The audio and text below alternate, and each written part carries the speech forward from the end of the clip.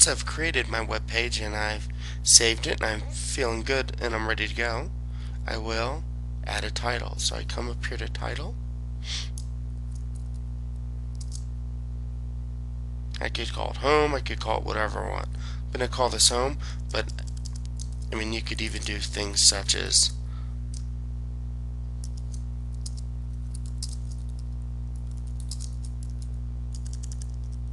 So you can get obviously a lot more complicated. Now if I save this, if I get it previewed again,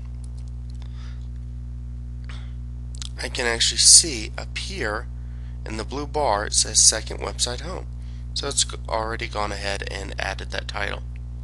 You can also in Dreamweaver, if I click on split view, I can see, if I scroll up, that in the head, so there's the head, it ends here,